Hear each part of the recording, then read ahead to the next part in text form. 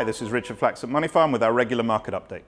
We've reached the halfway point of the year and it's time to take stock. Looking at the headline results, it's probably fair to say that the overall performance has been stronger than we might have expected, particularly for the higher risk portfolios. At the start of the year, the dominant message seemed to be that bonds were back, given the higher starting yields. And while bond yields certainly are higher than a year ago, it can take time for investors to see the benefit of that in their portfolios. The recovery in equities has been sharper and more immediately noticeable, with global equities rising 8% in sterling over the first half of the year. So what explains this half-year rally? There are a few points worth mentioning. First, it's worth noting that the rally in equities has been quite uneven.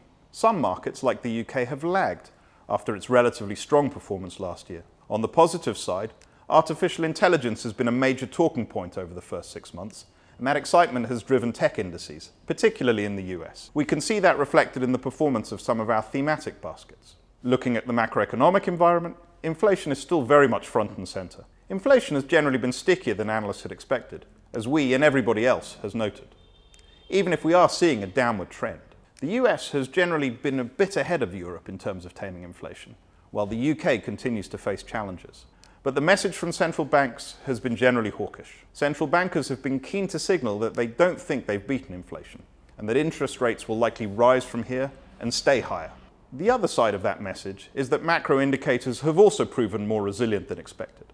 That's particularly true for the labour market, where job creation still seems quite strong and unemployment remains low.